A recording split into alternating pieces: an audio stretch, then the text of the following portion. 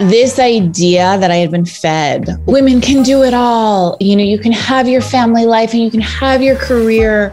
And I felt like I was constantly apologizing for having children. And we don't question men in that way. So, on both ends of the spectrum, I felt like I am failing.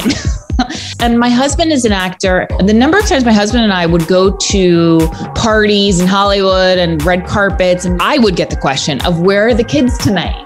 And I would always say, I have no idea. this system is set up so that we feel like we failed. This system is not made for us. And so when we are feeling guilty, it is not because we have failed, it is because the system is failing us. It's okay to lighten up on yourself, give yourself a break